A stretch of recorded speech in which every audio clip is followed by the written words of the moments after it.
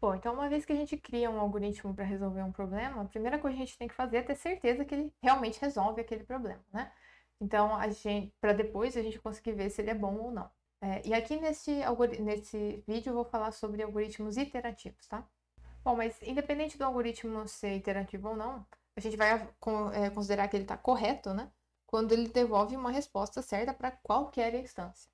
Tá? E a negação, então, dessa frase me diz o que, que é um algoritmo errado. Um algoritmo vai estar incorreto quando ele devolve uma resposta errada para alguma instância, certo?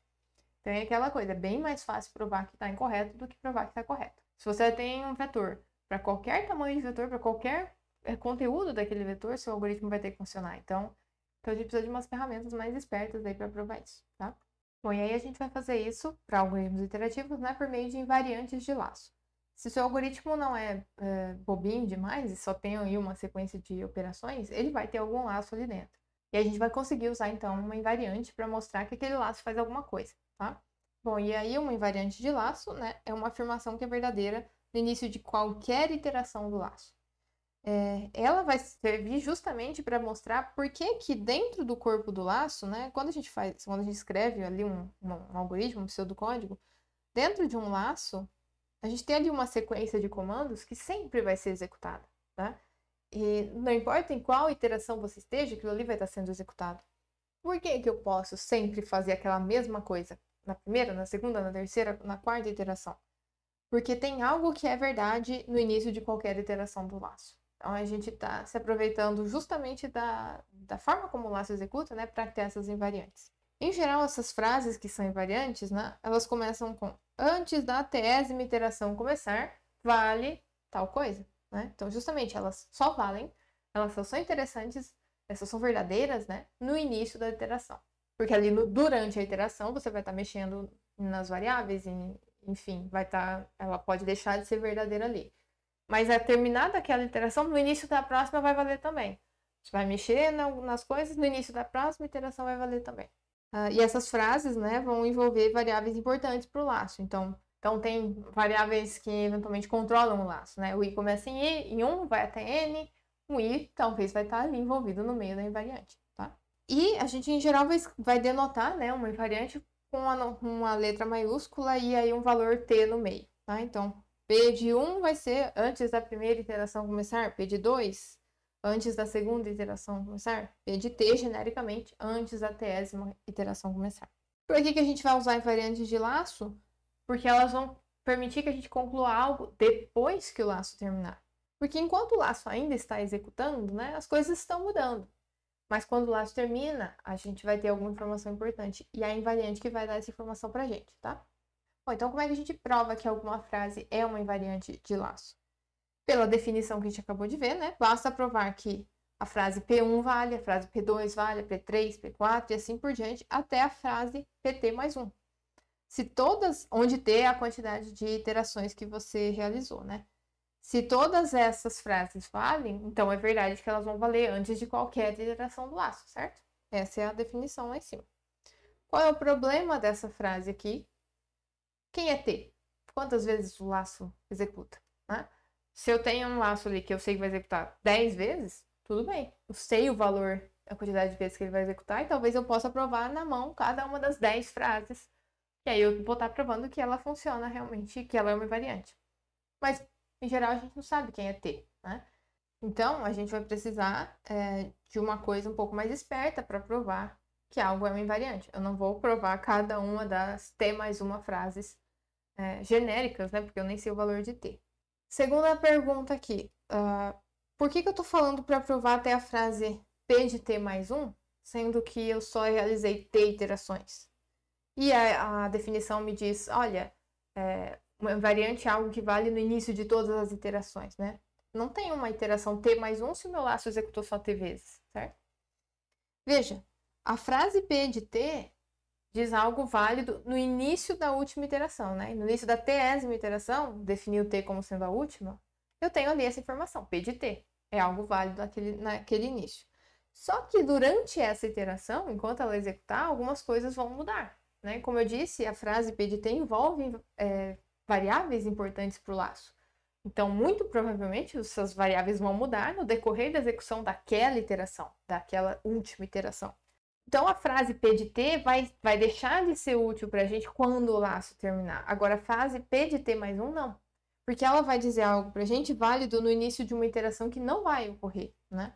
A iteração T mais um não vai ocorrer se o meu laço executou só T vezes. Mas então é justamente algo que é válido. Se a iteração T mais um ocorresse, né, eu teria essa informação. Mas como ela não ocorre, eu tenho essa informação quando? No final da execução do laço inteiro, né? Então, a frase P de T mais um é, que é o que a gente está buscando aqui, tá? A ideia de invariantes é, é você encontrar essa frase. Tudo que a gente vai ver, o nosso objetivo é só encontrar exatamente essa frase. A frase que vale assim que o laço termina que é a mesma frase que vale se tivesse mais uma iteração do meu laço, tá? Então, como é que a gente finalmente vai provar que uma frase é invariante? Por indução, no número de iterações, né? Então, a gente não sabe exatamente quantas iterações isso, ela, o meu laço vai ter. Em geral, é um número genérico, é um valor genérico que foi dado de entrada, né? E justamente para isso que serve a indução, é para provar coisas sobre um número que você desconhece. Porque eu gostaria de provar, veja, se, se eu estou provando é, se o meu laço varia de, sei lá, o i varia de 1 até n, é, e eu tenho um laço ali que, que faz coisas, então ele vai executar n vezes.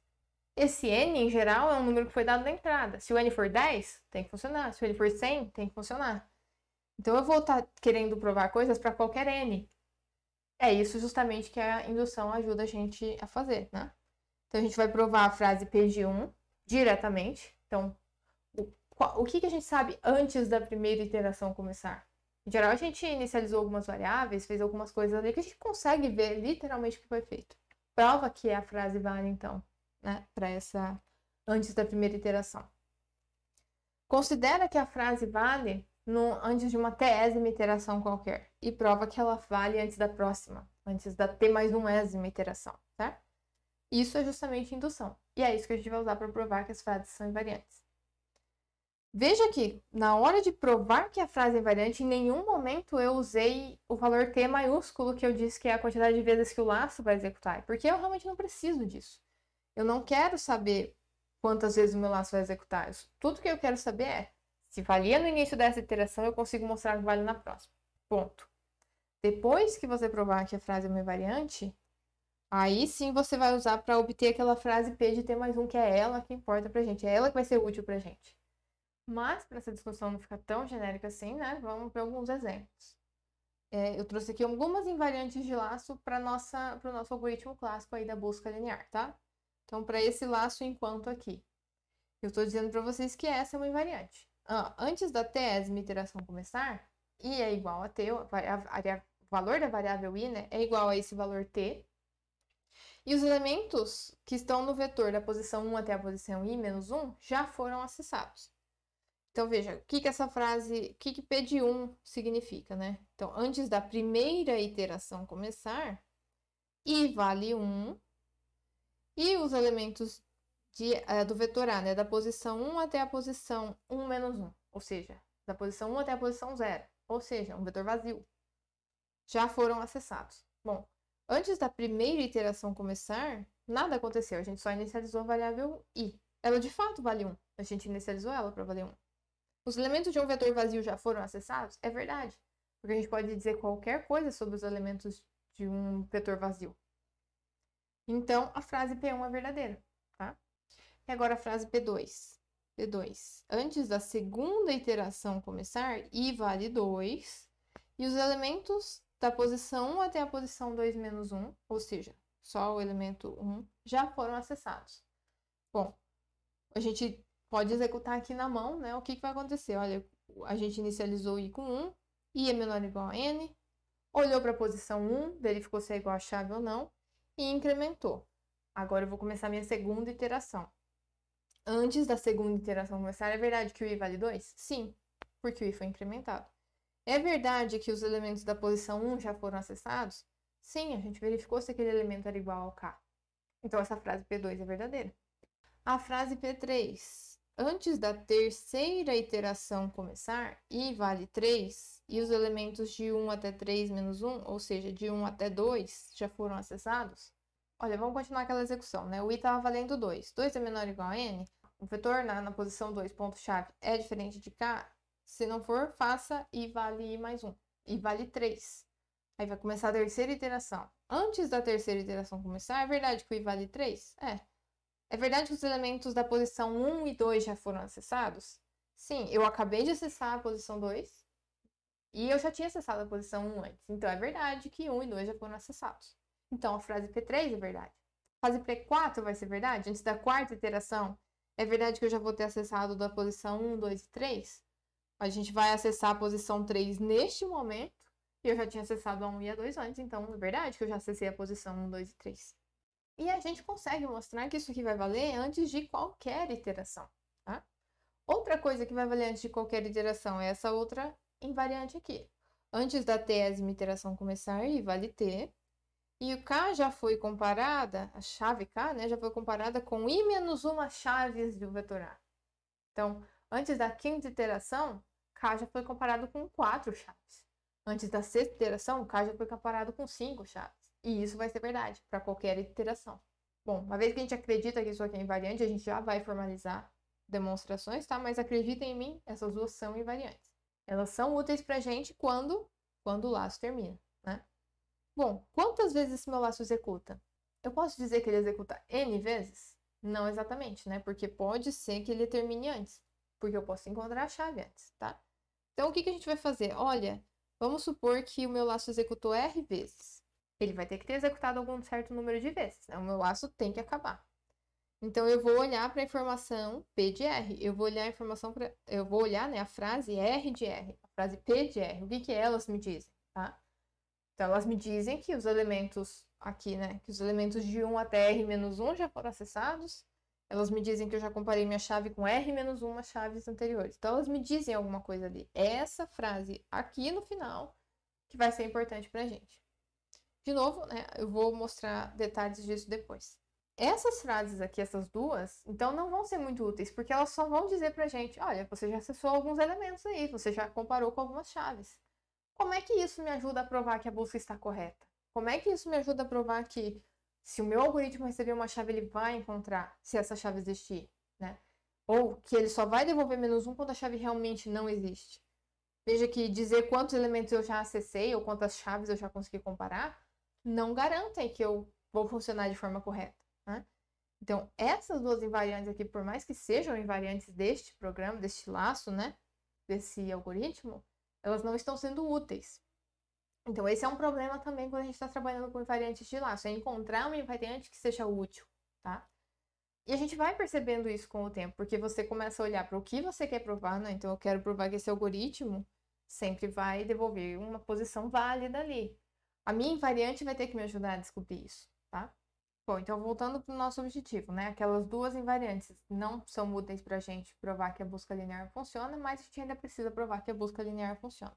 Para eu provar que a busca linear funciona, eu preciso provar essa frase aqui.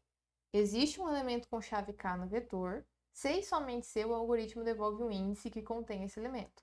Por que é que eu preciso provar essa frase? Né? Veja se você se convence que basta eu provar essa frase. Em primeiro lugar, observe que a gente tem um se e somente se, tá? Quando a gente tem um se e somente se, tem duas coisas que precisam ser provadas. Eu vou chamar essas duas frases aqui de A e B, certo? Então, a frase A é existe um elemento com chave K no vetor. E a frase B é o algoritmo devolve um índice com esse elemento.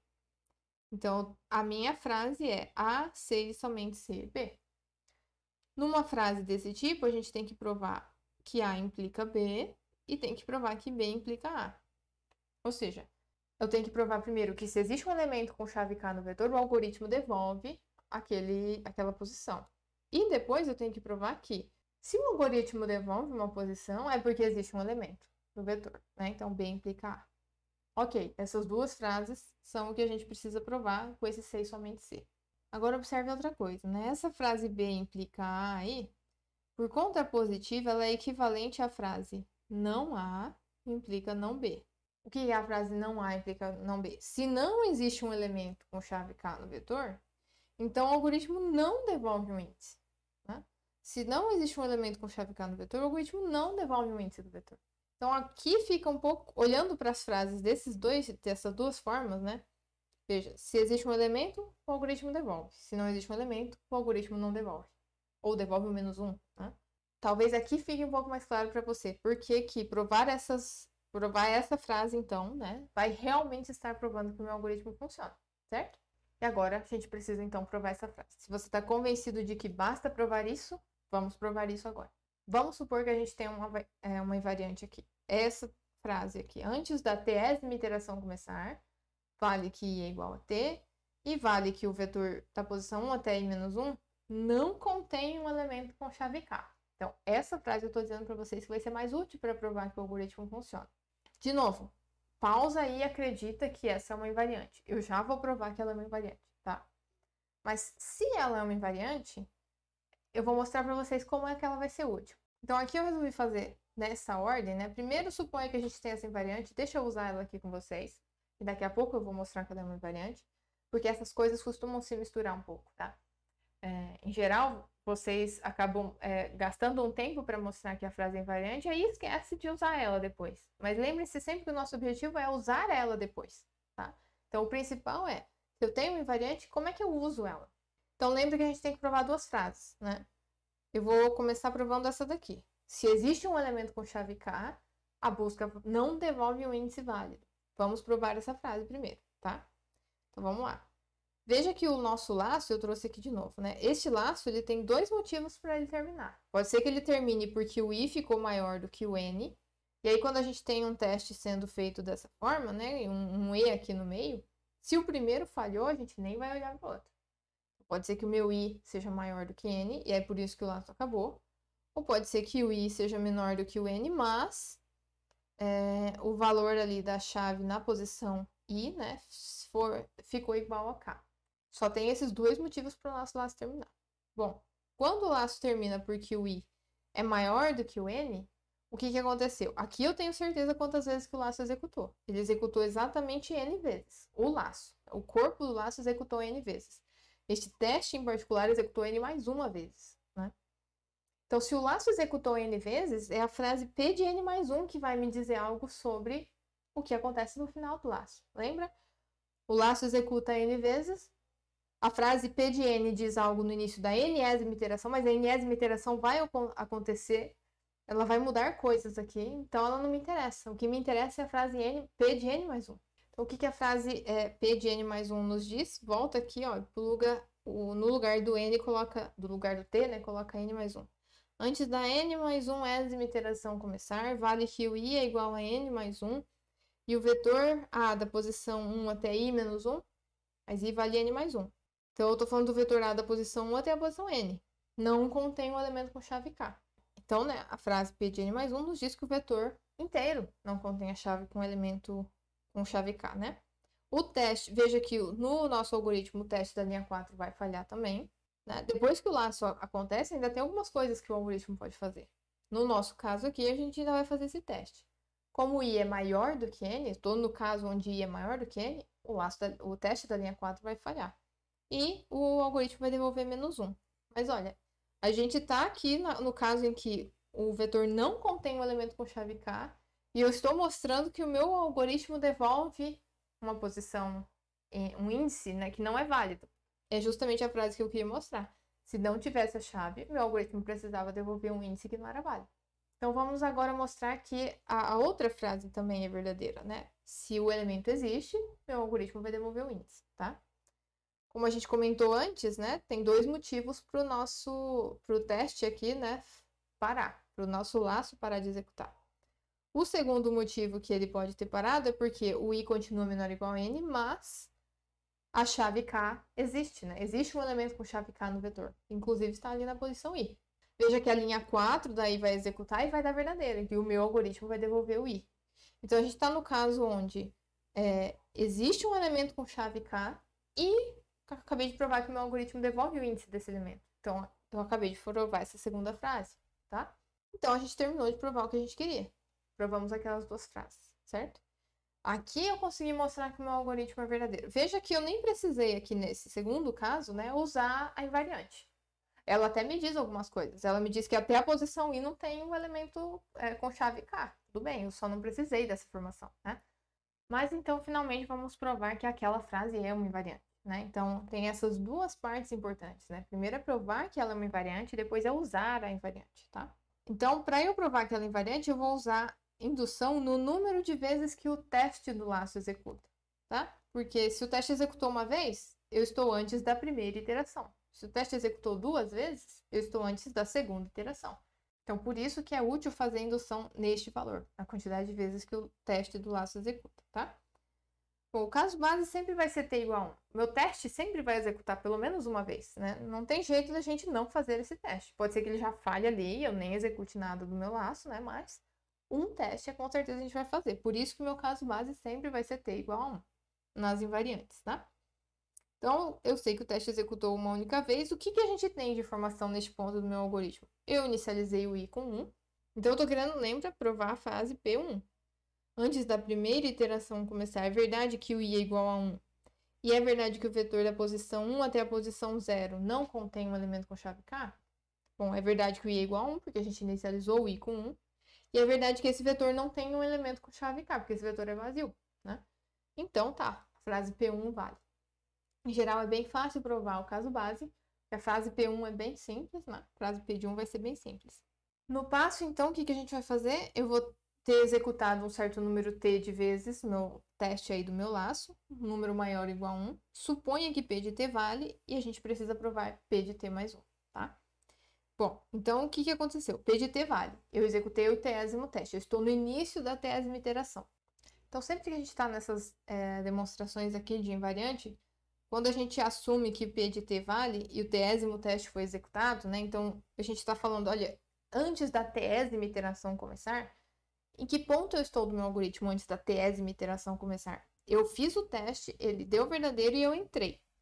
Eu ainda não executei a primeira operação da, daquela iteração, mas eu já estou ali dentro, tá?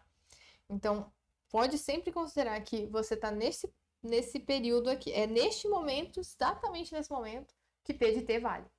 Porque depois você pode fazer operações que mudem a, as variáveis aí da sua invariante, tá? Mas então eu sei que o tésimo teste foi executado, porque o laço começou. A gente sabe que a chave na posição T é diferente de K, porque a gente acabou de fazer esse teste, ele deu verdadeiro. E juntando isso com o fato de eu já saber, por causa de P de T, que até a posição D-1 não tinha elementos com chave K, né? Veja, a fase P de T me diz que até a posição T-1 não tem elemento com a chave K. Até a posição T-1 não tem. Eu acabei de descobrir que na T também não tem. Então, juntando essas duas coisas, o que a gente pode concluir? Que de 1 até T não tem elemento com chave K. Aí o laço ainda vai incrementar a variável i, né? O novo valor de i vai ser justamente t mais 1, porque se i valia t antes, agora ele vai valer t mais 1, porque o i está sendo incrementado, né? Então, se você voltar aqui na frase, né? E substituir t por t mais 1, i vale t mais 1. Então, aqui a gente está falando do vetor da posição 1 até a posição t, né? É justamente essa frase que a gente acabou de provar. Então, era isso que a gente precisava. Eu assumi que p de t valia, precis, é, me propus a provar, né? P de t mais 1, acabei de provar. Ótimo, então P é uma invariante. Então, essa demonstração de que a frase é uma invariante é uma demonstração clássica de é, por indução né? Prova um caso base, assumir que P de T vale e prova P de T mais 1. Mas é sempre nesse formato, né? Então é algo bem é, que a gente vai usar bastante, mas é sempre nesse formato. Uma vez que a gente mostrar que é invariante, tem que sempre lembrar de voltar e utilizar essa invariante. Descobrir quantas vezes o meu laço executa para usar essa invariante naquele valor, né? Bom, mas veja que a busca é um algoritmo tão simples que a gente já tinha se convencido que ela estava funcionando, né? Antes mesmo de eu mostrar tudo isso aqui para vocês, eu acho que vocês já acreditavam que ela funcionava. É, e de fato, quando as coisas são tão simples assim, parece que quando a gente é, formaliza e coloca aqui em variante, parece que a gente está complicando demais. Bom, mas esse aqui é um exemplo inicial só para a gente ver como é que esse tipo de demonstração é, funciona, né? A gente ainda vai ver outros exemplos para que isso fique um pouquinho mais claro, tá bom?